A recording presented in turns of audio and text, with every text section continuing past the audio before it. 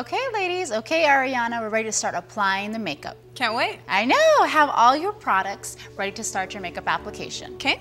Most Belloccio systems come with four foundations, an anti-aging primer, a blush, a bronzer, and a highlighter. You know I love to hear anti-aging. That's right, we're turning back the clocks. It's everything you need to always look your best. Let's get started. Great. So what we're gonna do is apply the anti-aging primer. Make sure you shake up your bottle.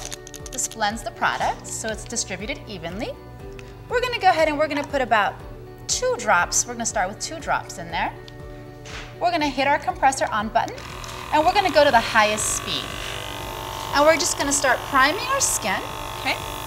And again, small circles. And the primer is a hydrator, so it allows your skin to be moisturized as well as providing the canvas to apply the airbrush makeup.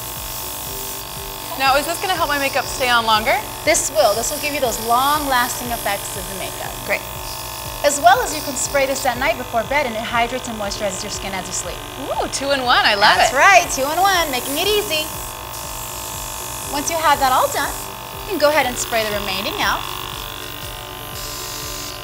And we're gonna get ready to start our foundation. So we're gonna go ahead and turn off our compressor and we're gonna collect, select our color shade. So we're gonna go ahead and find the shade that works for us. Now, I know when I was looking through the shades, I'm actually a mix of two of them. How do I do that? I'm so glad you mentioned that. So I'm gonna show you how if you find that you are not just one shade, you're gonna go ahead and you're gonna blend two shades together. Okay. First, let's test to see if we're one shade. We're going to go ahead and put this onto our fingertip. And we're just gonna swipe the side of our cheek to see if it's a blend. And if it disappears, it's a match. Okay. Now, if for any reason it doesn't disappear, because with the season, you know, skin changes, we can go ahead and we can blend two colors. Okay.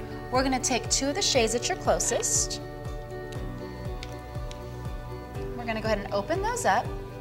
Make sure you shake them. Put your other color. Mm-hmm. And now we're gonna go ahead and we're gonna hit the on button. Okay. We're gonna put it on low.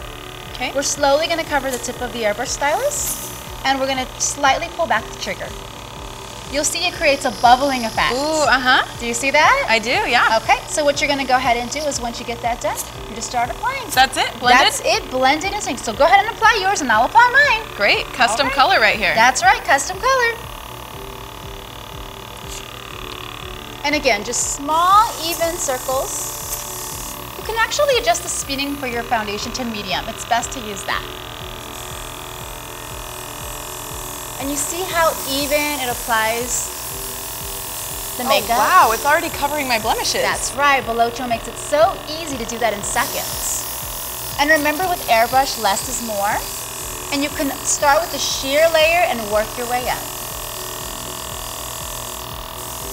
And right before your eyes, you can see the blending and the even tone to your skin. You know what I love about this is it still looks like me. It looks like skin. It's radiant, it's bright. I don't feel like I'm covering up the life of my skin That's with a ton of makeup. That's right, and that's because Belloccio enhances what you already have. Okay. Kind of nice, huh? I love it. Okay, we're gonna go ahead and finish our foundation. You'll start to notice when the foundation is out, when you start to hear the product run out, Okay. you'll no longer feel the spray. Grab a tissue.